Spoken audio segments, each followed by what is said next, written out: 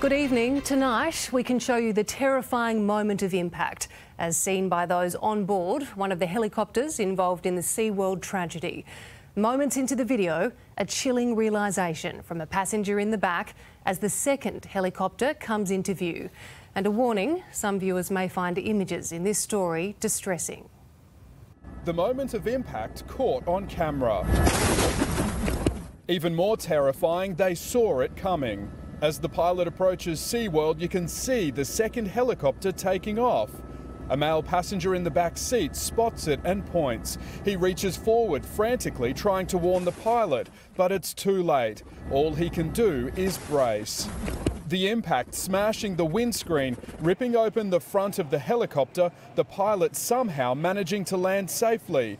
The collision sending the other helicopter to the ground, killing four people on board. Three others remain in hospital. Four days after the tragedy, the four shaken New Zealand tourists who escaped with their lives still processing what happened. A day they'll never forget. A fun five minute joyride on vacation to Australia turned into a nightmare. The Steenbergs and the Swarts releasing a statement today expressing their gratitude to all who helped them, thanking their pilot Michael James, their hero, for bringing their chopper down safely. While they are grateful and blessed to have been spared, they say they are very sad for the people who lost loved ones and the little ones and mum fighting for their lives in hospital. Our hearts are heavy for them.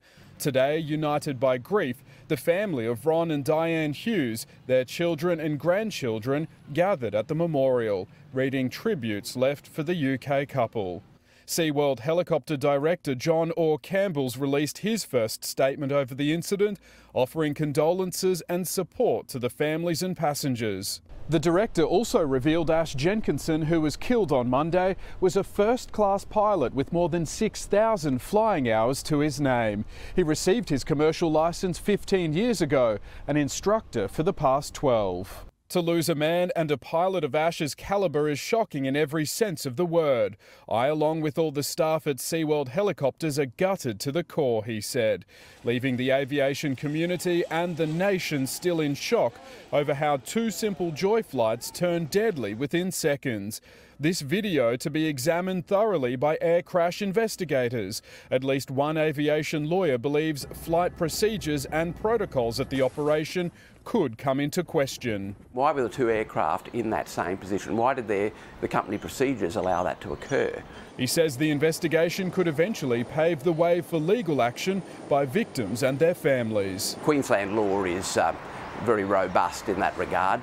10 year old Nicholas Tadros from Sydney remains on life support tonight, but in some positive news, 9 year old Leon De Silva has showed signs of recovery today. No longer critical, he's in a stable condition. Josh Bavas, 9 News.